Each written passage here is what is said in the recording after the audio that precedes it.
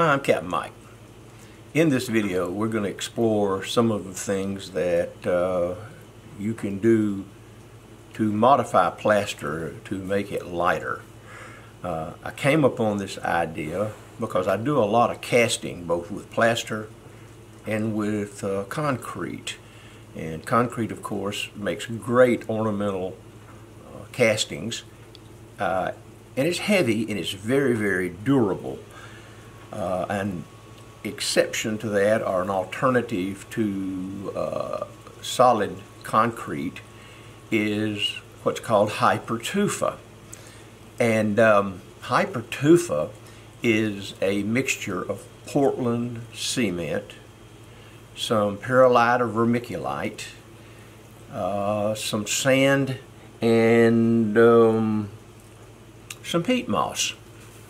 And you can vary that recipe a good bit and if you get online and you check uh, hypertufa recipes you'll see that they do vary a lot uh, from the amount of water that you add to it to uh, the various ingredients. But regardless once you get it all mixed up it is a lighter alternative to concrete and it looks like concrete.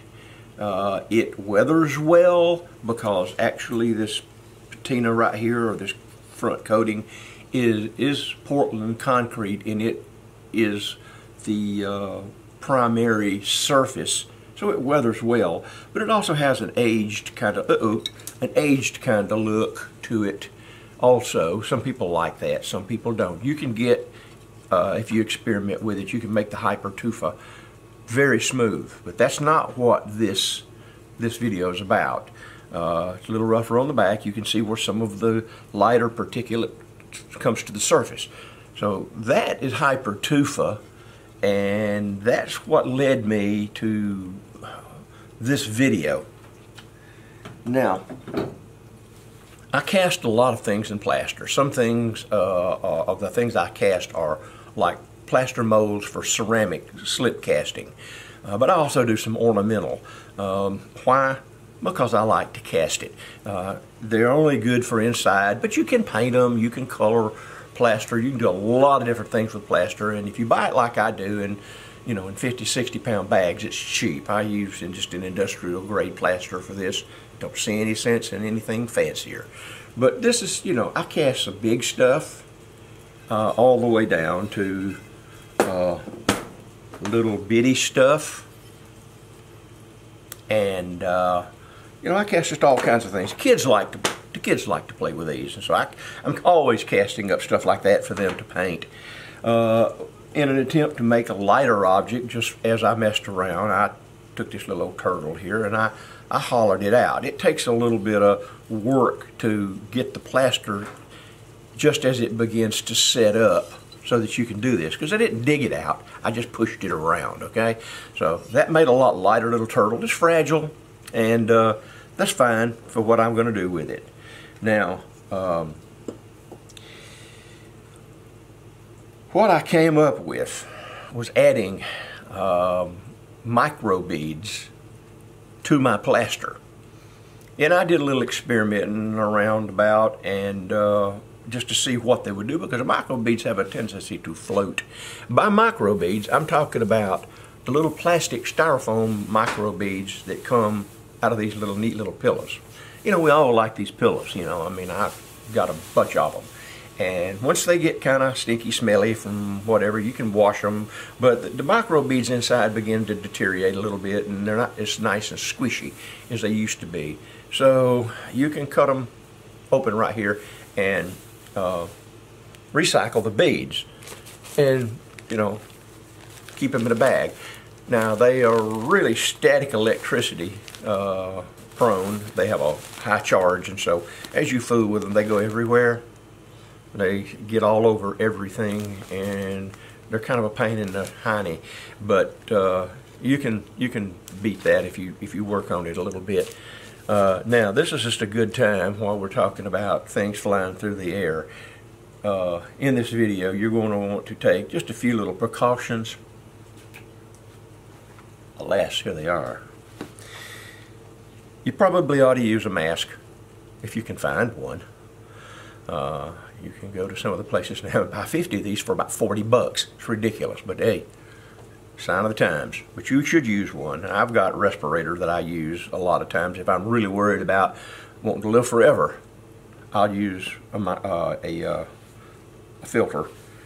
Gloves, if your hands are sensitive and you, the, everything that we're going to do here pretty much uh, washes off. But hey, there's no problem. I use a lot of these gloves because uh, everything soaks in my hands and they look bad enough as it is. And then, of course, you know, if you're worried about your eyes, there should be nothing here to bother your eyes, but you never know. And the old faithful standby uh, eyewear. You're like me and half blind, you wear glasses. Now, uh, let's kind of get into what I'm going to try to do here.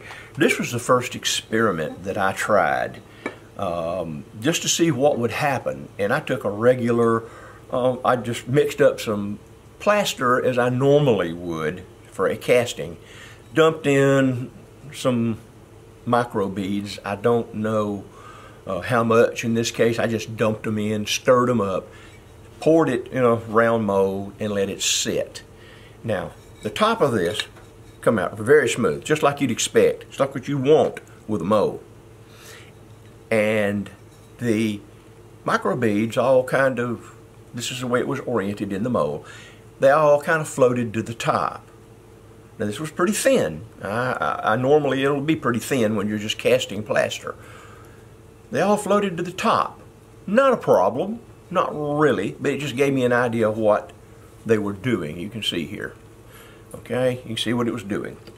So it did make it lighter. And I said, well, gee, this, this ought to be worth, uh, you know, kind of carrying a step further. Now's a good time to uh, mention uh, a little information about microbeads and the different kinds there are. Uh, as I mentioned before, this is a regular microbead. You can kind of see here how they they bounce around in here. They're they're round spheres and they're styrofoam of some description. They also make them in just hard plastic. I, I, I don't have any of those. Uh, you also are going to run across, if you get online, microbeads that are glass.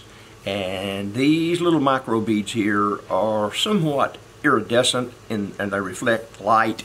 This is used primarily for mixing with paint, putting down on the roadways so that when your lights hit it at night, uh, they reflect. And I even have some very, very, very fine. I wouldn't even so much call these micro beads as I would they are, uh, it's just a powder, but I would imagine if you put it under a microscope or something, they're going to be spherical. That's just saying.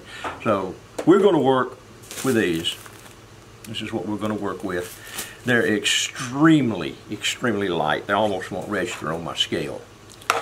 And speaking of scales, what I have done for this experiment is I have measured out 8 ounces of plaster. I have measured three of them. We're going to do three different batches here. And we're going to, in one of these batches, we're going to use four ounces of water. We're going to use six ounces of water. And we're going to use eight ounces of water. And that's going to give me different consistencies in each of the plaster. And it'll allow the microbeads to do different things.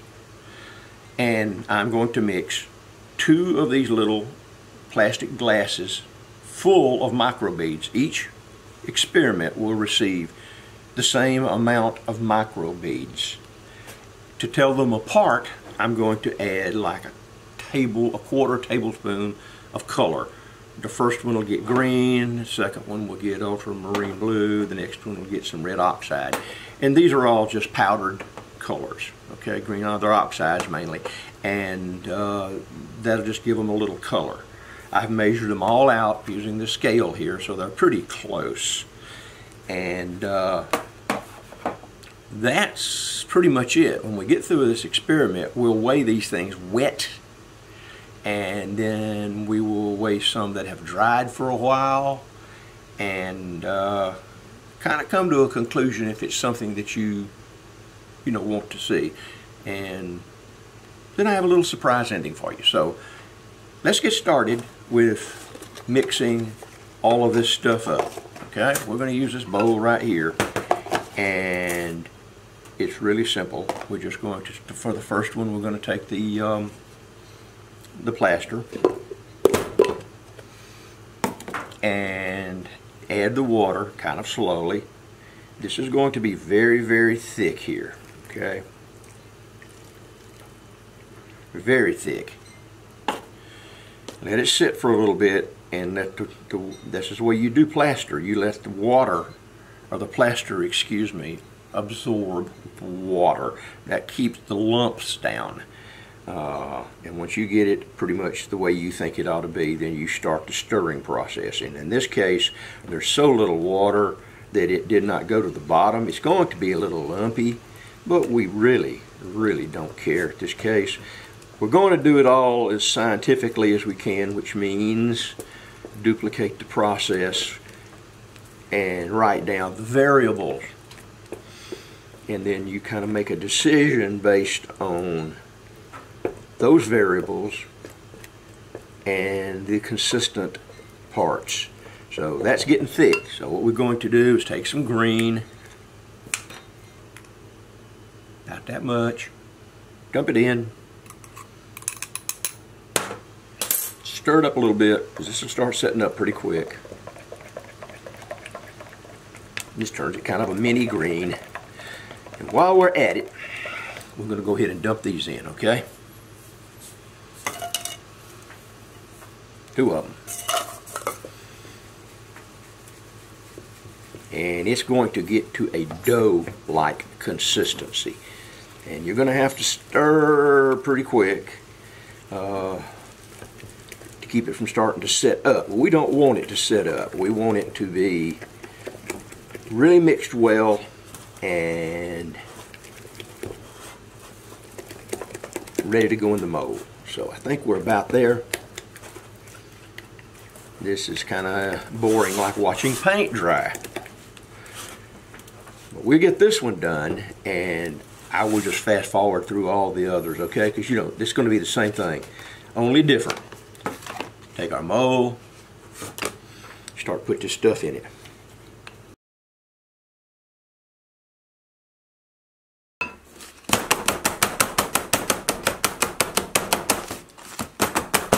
I'm bumping it on the table to spread it out evenly and to get as many air bubbles out of it.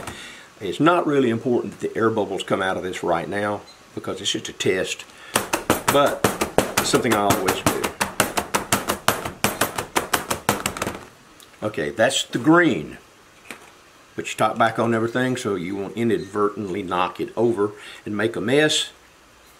Uh, ask me how I know.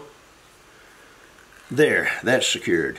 Okay, I'm going to wash this out. And don't wash your plaster out inside in your sink if you can help it. But I'll come back and I will do these other three and I'll just fast forward right through it and then we will let them set up, okay?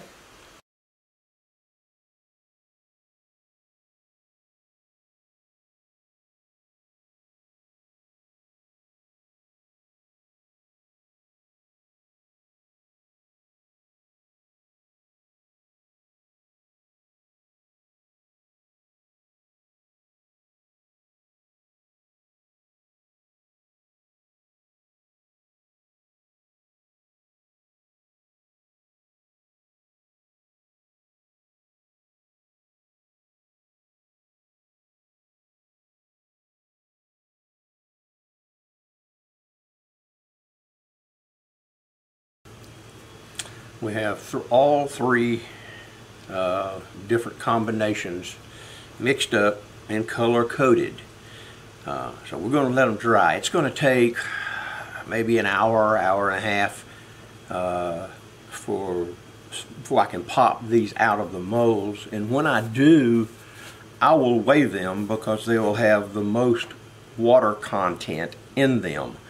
And then I will compare them against uh, an earlier batch that I did for uh, for uh, a comparison and we'll see how much water uh, actually evaporates out of the, uh, the plaster mix over time.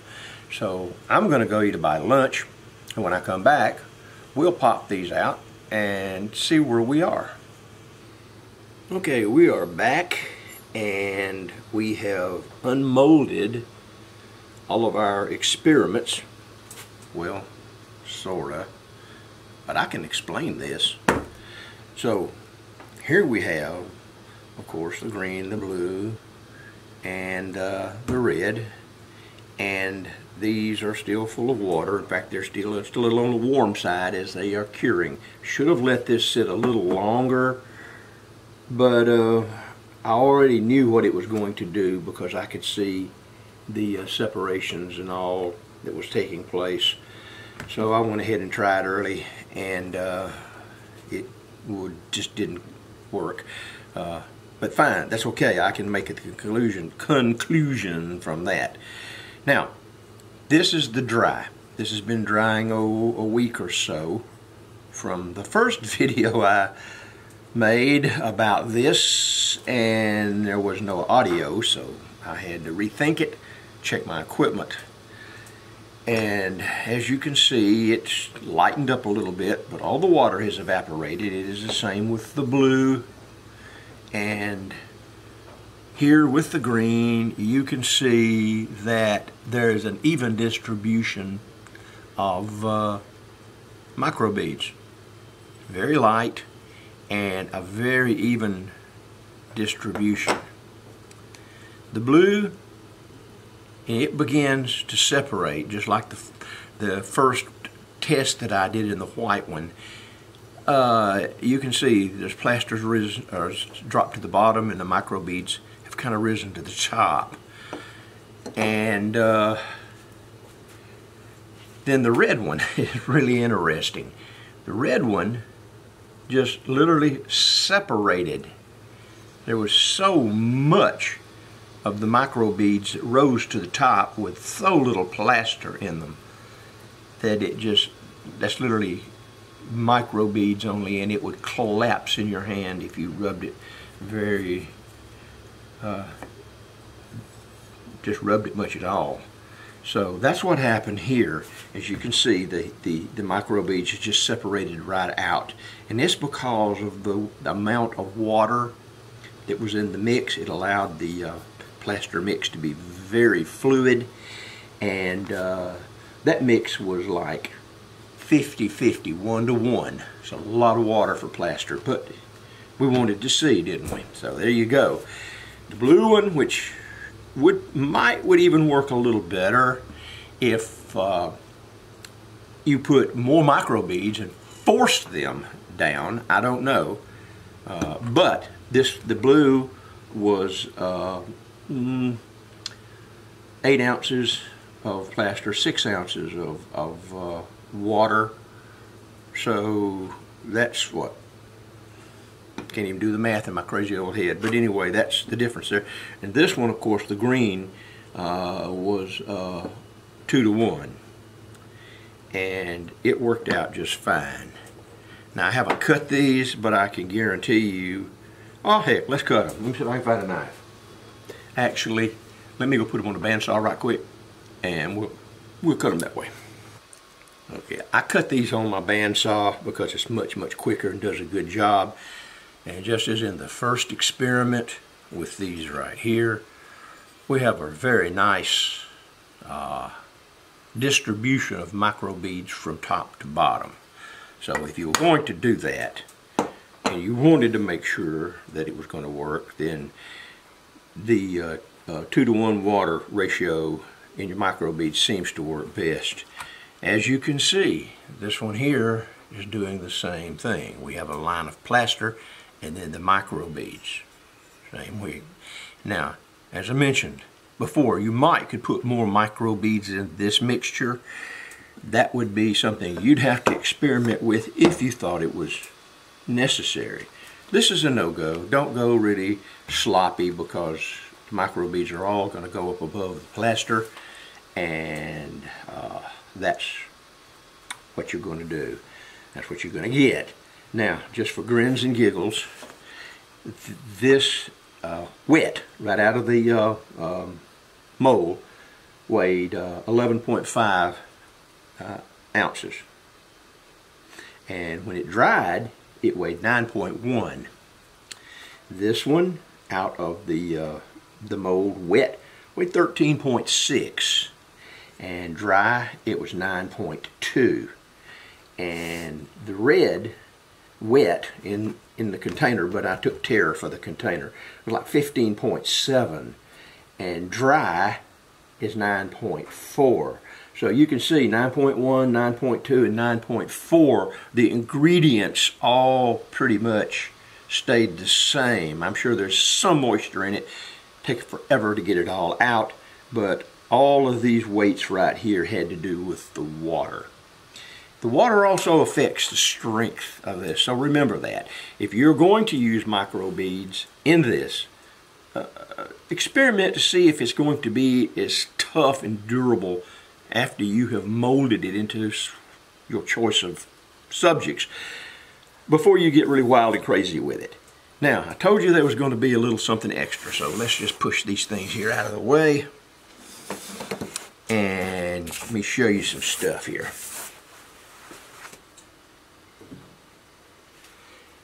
Now, this is, as I had showed you before, this little mask is uh, Hypertufa, okay? It weighs, it's been made a long time, it's 13.65. Now here's a regular plaster one. It weighs one pound.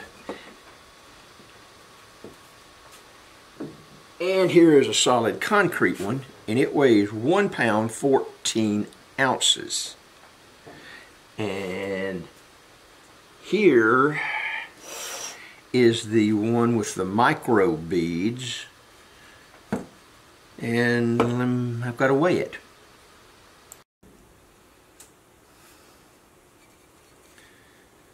Okay, let's see what this thing weighs. It weighs 15.7. It's been drying for quite a while. Now the the uh, the weight various is on all these has got to do probably with thicknesses too. So take that into account. This is this is not really rocket scientist testing. It's just uh, kind of backyard redneck testing. So anyhow, who, how, that's what we have with this right here. Now this little guy, I went a little bit further uh, when I made him and I put some sparkle with inside, just incorporated it into the plaster. So it's all through it, but enough of it came on the face that at least in real life, you can see it. Can you? Can you uh, see it in a video? We'll see. I use this stuff, which is kind of some iridescent powdered stuff, and I've seen it in girls' faces and in their hair and all that kind of stuff, but it's also an arts and crafty kind of thing. So I put some in there. I thought it'd be kind of neat. So there we have it. Uh, that's what I do the micro beads. I have lots of them. I plan to use some more micro beads in the concrete. I've done that before. Uh, do something with these, dispose of them properly. Uh, I don't think they're good for the environment. Uh, it's definitely not good to be in your house around small children in the air. They're breathable. Uh, so dispose of them properly or use them in something where you can control their dispersal. And pretty much that's it. That is my video on playing with micro beads and incorporating them into various finishes and and, and uh, carriers or whatever. And if you have ideas, uh, please let me know if there's something that I have done wrong or you'd like to see changed. Let me know. Uh, I don't mind comments as long as they're adult uh, and everyone can gain from them. Uh, you be adult, I'll be adult, and we'll all learn from this uh, so pretty much that's it. Hit the like button if you like this video, the subscribe subscribe button if you want to see more videos or the latest ones that will come up, and hit the notification button and you'll be automatically uh, notified. Uh, I don't uh, monetize my channel Uh, please let me know if any monetization pops up during this channel because I don't authorize it. I do this for grins and giggles and fun and hopefully to help someone else out along the way so they don't have to make the mistakes I do. So that's it. That's my video. Uh, I'm Captain Mike and I'm out of here.